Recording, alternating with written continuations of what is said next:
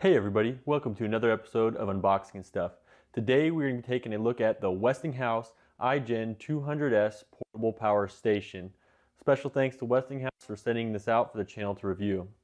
So without further ado, let's go ahead and get this thing out of the box and see what it comes with. I went ahead and cut the tape already, so we can easily pull it out. Got a little phone packaging here. Here we have the actual iGen 200S itself. And then we have a small box with accessories. Let's go ahead and toss this aside. See what we got in here. All right, so inside we have a small carrying case, which houses a power supply for AC power, a car charger, and an adapter to allow you to use 12 volt charging sources. And finally, we have our iGen 200S user manual. So before we move forward any further, uh, I would just like to ask everyone uh, if you like this kind of content or are interested in any of the things that I review, please hit the subscribe button. Uh, unfortunately, most of my viewers have not actually subscribed, so my channel has not grown as much as I'd like to. So if you're feeling like in a good mood and want to help me out, I'd really appreciate it if you guys click subscribe. And if you like the video, go ahead and click the like button and uh, share it with your friends if you think they might be interested in something like this. Okay, the next thing we're going to do is do an overview of the unit itself. And as you can see here, we are looking at the side of the unit which has the LED display. And you'll notice the battery indicator is moving up and that is because the battery is charging right now as I have it plugged in. If we press the AC button, you'll see AC pop up and then you'll show 0W, which that indicates how many watts are being pulled out currently. And you'll also notice that there is a small AC symbol right here showing that the AC is actually turned on. And we're gonna go ahead and turn on the DC and you'll notice that the DC symbol pops up here and the USB symbol pops up letting you know that the USBs are now powered. And the only thing that you can't see right now on here is over to the far right, to the right of the AC, there's a small error indicator that can pop up that is currently not up because it's not an error. Okay, and next we're going to talk about the right side of the unit and we're going to start from top and work our way down to the bottom. So up at the very top you have a button for the flashlight which turns it on and off. Here is the flashlight on this unit. So go ahead and press it once to turn it on. And if you press and hold the flashlight, it will go into SOS mode. And you press again to turn off, and then press once, it turns on, go dim, and then off. So next down, you can see we have our two AC plugs. One of them is a three prong and one is two prong. In order to power that up, you just press the AC button and you'll notice the little green light comes on. And then when you're not using it, go ahead and press that and turn it back off. And those are capable of up to 150 watts of continuous power at 120 volts with up to a 300 watt peak. And next we're going to talk about our DC outputs. So this here is a USB A. It's capable of putting out 5 volts DC at up to 2.4 amps at 12 watts max. We then have a quick charge USB A, which is a 3.0 port capable of 5, 9, and 12 volts DC up to 3 amps with 18 watts max. Then we have a USB-C, which is capable of 5, 9, and 12 volts DC up to 3 amps or 18 watts max. Down here we have a 6 millimeter 9 to 12.6 volt DC port which is up to 10 amps and that is where you would plug in your cigarette lighter adapter. And then over here on the right we have the DC on button which brings power to all of these ports and you'll notice that is on when the green light is there. Okay, and here is the back of the unit, and you'll notice there is actually nothing on the back of this unit. Okay, and here we are on the left side of the unit, and as you can see, this is where the power from the charging port is, and I have it currently plugged in and charging, and you'll notice that the LED illuminates green, and on this unit, the actual fan kicks on immediately during charging, and we will see if that is the same for when we're actually using the power. But when it is charging, the fan is running to keep everything nice and cool. Okay, next we're going to go over some specifications. The iGen 200S has lithium ion batteries. It has a capacity of 194 watt hours or 52,500 milliamp hours. It's capable of continuously running 150 watts with a peak watt of 300 watts. It has 120 volt AC output and it has DC output voltage of 9 to 12.6 volts. The sine wave on this unit through the AC is a modified sine wave with a 60 hertz frequency. The charge time is approximately 4 hours using an AC wall outlet, 4 to 5 hours using a car charger, and 4 to 5 hours using a solar panel. This unit also has a two year warranty and the dimensions of the unit are 8 inches long, 3.6 inches wide, and 7.36 inches tall. And this unit weighs 4 pounds. Okay, so let's talk a little bit about what are some of the things that a unit like this could power. You could use this to power a laptop, a TV, charging your phones and your laptops, using it to power lights, or household fans, uh, even run a stereo.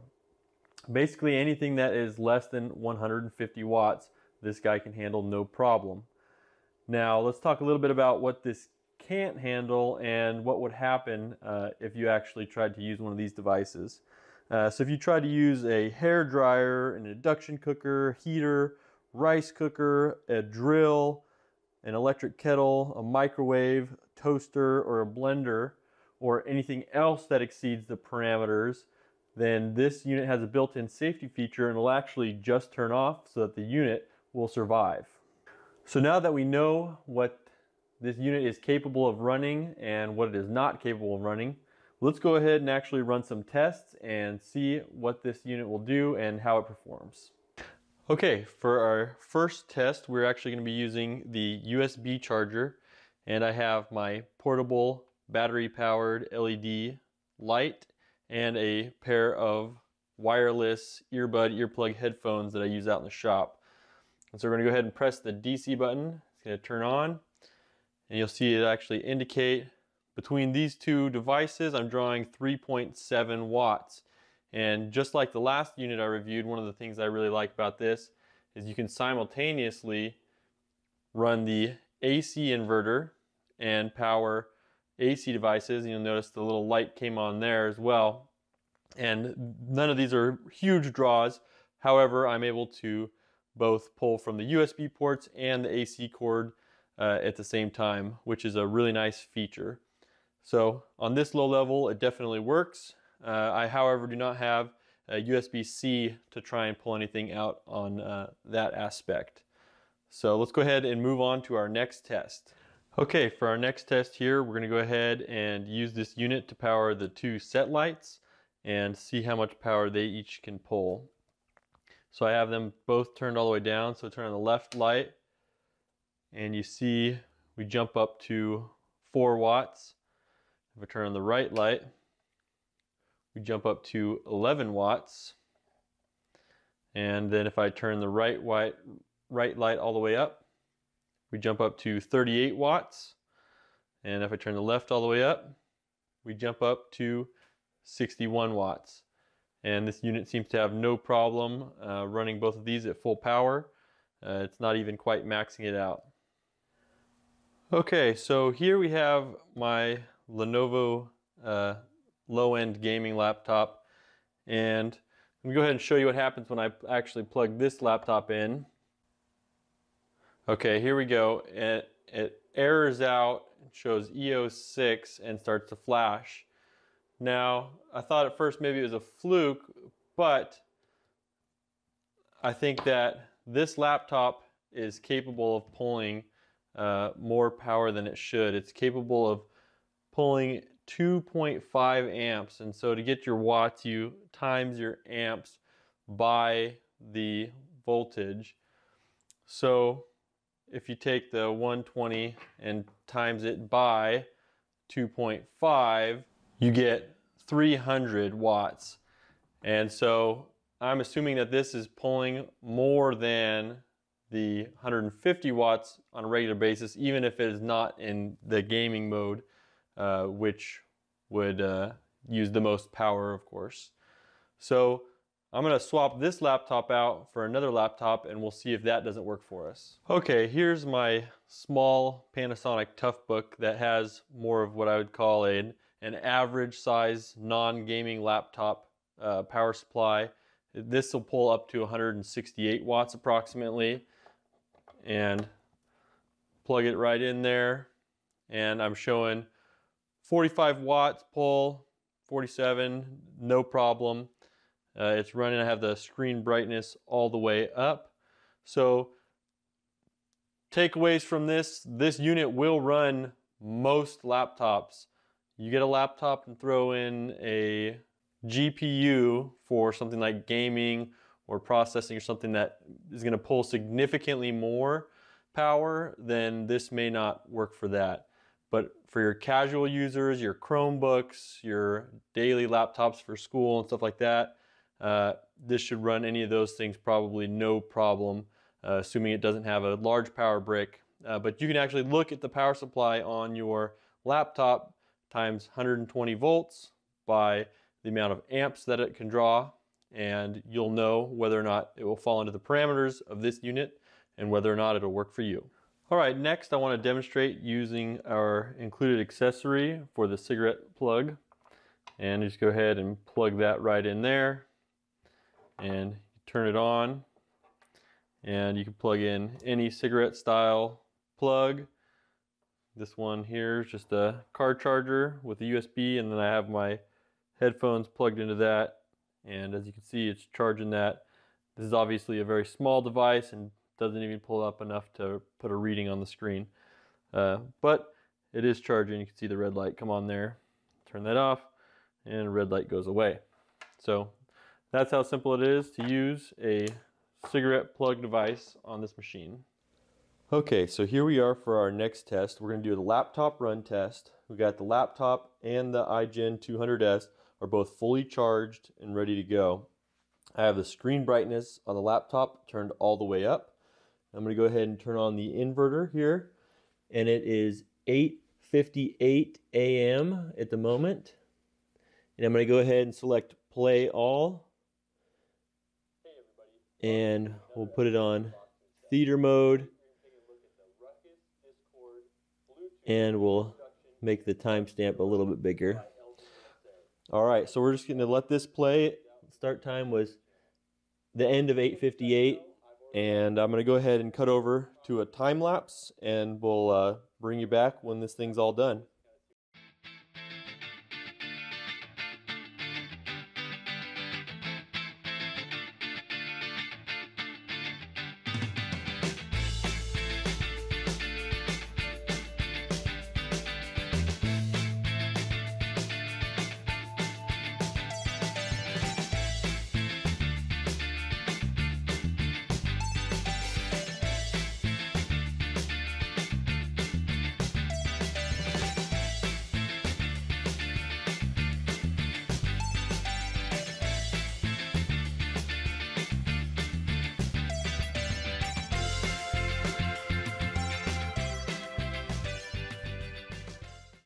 Okay, so as you saw in the last test, the iGen 200S was able to run my laptop for 7 hours and 17 minutes.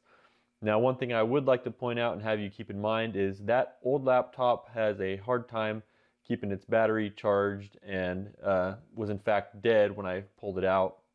And as you'll notice in that little time lapse there, the actual time that the laptop survived after the 200S uh, ran out of power uh, was very short. So it's quite possible that this was working a little harder to keep this laptop running uh, than a new laptop, which would probably be a lot more efficient. So take that with a grain of salt. Uh, your results may actually be better than mine, uh, depending on the use case and the actual load.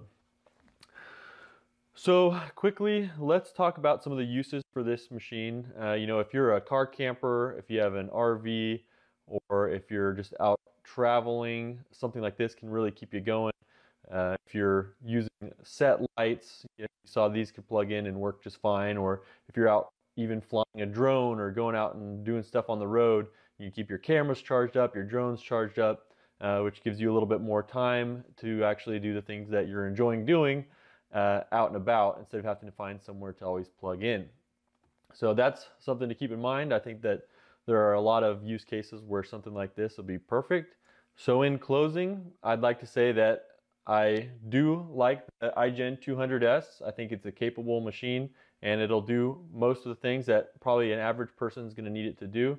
Uh, just keep in mind if you have a laptop that draws over that uh, the 300 amps or over, then you're really going to have a hard time getting it to work.